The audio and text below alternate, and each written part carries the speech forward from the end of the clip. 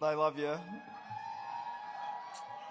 I thought you were going to pull off something unbelievable on grand final day. You went forward, you were nearly the match winner, a couple of the best goals you're ever likely to see.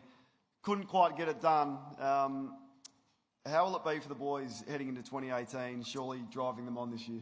Yeah, definitely. I think we had a really special season at the Magpies. I think um, a lot of the boys knew it was going to be hard to get into the AFL team with all the in, no injuries pretty much, and um, sort of didn't come back with bad attitudes at all. And um, full credit to them, and even the contracted boys and the Maggies to go back and to the Resies and do what they did is just a massive credit to them. And just the environment we had there, led by Chad, was just unbelievable. And to get so close to the grand final and winning it was uh, heartbreaking, but I'm sure it'll drive the boys for next year. Yeah, I wanted to ask you uh, about that. The the bond and the, the group seems united from right from the top, from the best player through to you know the 44th player on the list. And, and credit to yourself and Lowe's. We heard how well he spoke later, but the culture at the footy club just seems so strong at the moment.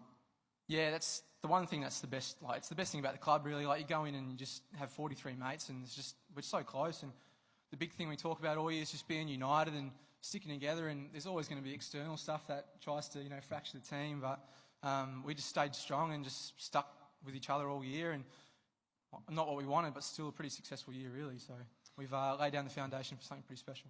And for you too, uh, second in the Magarey medal, now uh, a Port Adelaide best and fairest. You'll go down in the history books. This famous club winning at BNF. I'm sure there's so many people you'd love to thank. Yeah, thanks, Kane. Um, yeah, I suppose I'll just start off with uh, Chad, your big strong thing. Thanks for uh, all the faith and, and the respect you paid me this year and your, and your coaching staff as well. It's just made it such an enjoyable year for me, to be honest, and I just love playing, love playing for the Maggies. Um, Three special mentions I'd like just to say real quick. Um, firstly, to David Stevenson, um, my mindset coach for this year. It was um, pretty tough times in pre-season trying to deal with the fact I knew I wouldn't play many AFL games, but you uh, helped me find the motivation and drive to commit all my energy to the SANFL and um, ended up being the most enjoyable year I've played footy all my life, pretty much. Um, to Paulie Vandenberg uh, and Emma, just the stuff you've done for me over the last six years and, um, you know, the the things you do for my family and just making sure that me and the rest of the Aboriginal boys are just happy. It's just, it's like the stuff you do is unreal. Like you're just a legend, mate. Love you. Um, and to Stewie Cochrane as well, mate. You, um, you've probably been the one bloke since I got here that's done everything in your power to, you know, make me the best player I can be, and I'll always appreciate that wherever I go.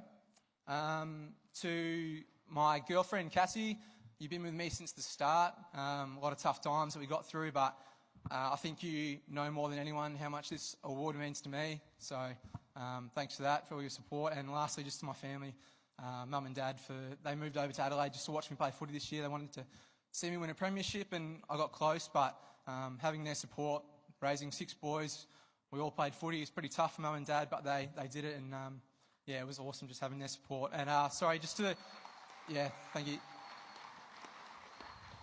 And lastly, just to the boys, um, like footy, it's just a sport, but really, like what you take out of it at the end of the day is all the memories and friendships you make along the way. And like I said before, 43, 44 blokes, I love you all. And um, I just want to thank you for the memories and everything we've done for the past six years. And I uh, look forward to sharing a beer with you tonight. Thank you.